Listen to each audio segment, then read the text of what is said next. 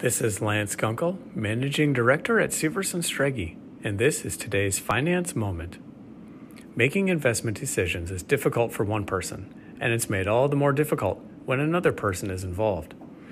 It's quite common for partners or spouses to have differing views on risk. Each person enters the relationship with a different personal history with money and investments. One partner may be more comfortable being aggressive, while the other prefers to stay risk averse. Periods of market turbulence can thrust these differences into overdrive.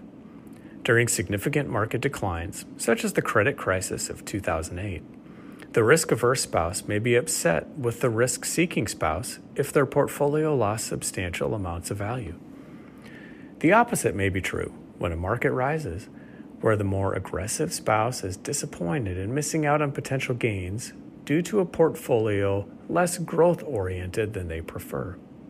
There's no easy solution when partners have different risk tolerances.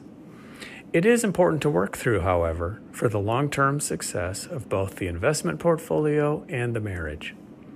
The first step is open communication. Discuss how each partner felt during a period of substantial decline. This can open one another's eyes to the emotions felt during a period of market volatility. Next, consider how much risk you can afford to take. If you have sufficient resources to provide for a comfortable retirement, you may be able to take more risk. However, if finances are tight, it's not prudent to try hitting a home run in your investment portfolio.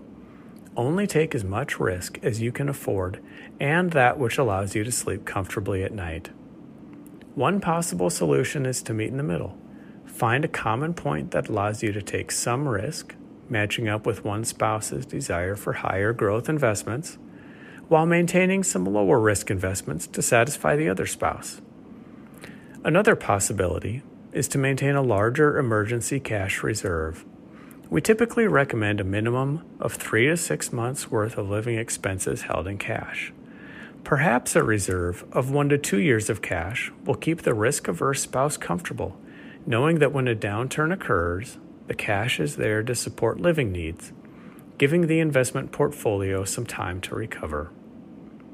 Visit Syverson Strege online at onlyworkforyou.com or call us at 515 225 6000.